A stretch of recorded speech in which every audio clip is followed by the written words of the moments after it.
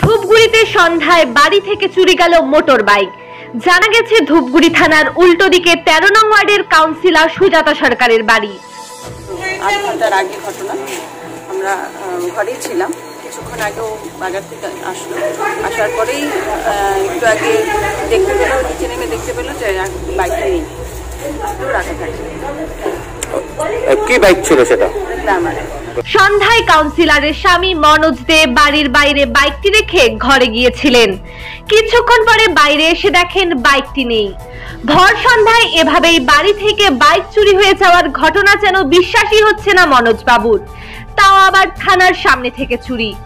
এদিকে সন্ধ্যায় খোদ থানার সামনে থেকে বাইক চুরির ঘটনাটি প্রকাশ্যে আসতেই আতঙ্ক ছড়িয়ে পড়েছে এলাকায়। কেননা কিছুদিন আগেই থানা থেকে ঢিল ছড়া দূরত্বে মশলাপট্টিতে দোকান থেকে চুরি যায়। এমনকি থানার উল্টো পাশে থাকা দোকান থেকেও এর আগে চুরি গেছে। থানার সামনে থেকে এভাবেই চুরি যাওয়ার ঘটনায় নিরাপত্তাহীনতায় ভুগছেন স্থানীয় বাসিন্দারা। এই অবস্থা নাই।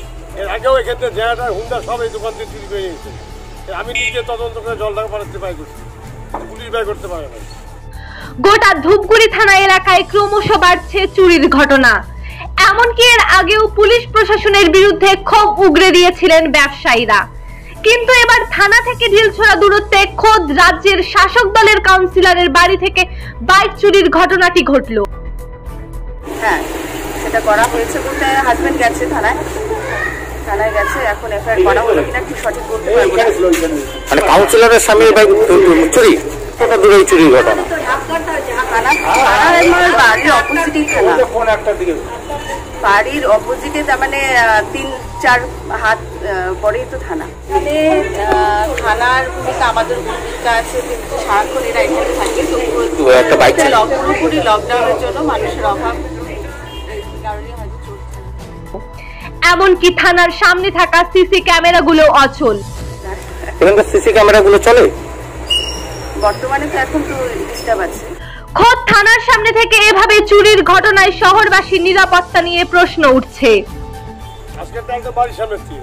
কাউন্সিলের বাড়ির সামনে কাউন্সিলর রিলেটিভ আসলে করে মিষ্টি নিয়ে কাউন্সিলর হাসপাতাল উঠছে আর এখন নিরাপত্তাই নেই।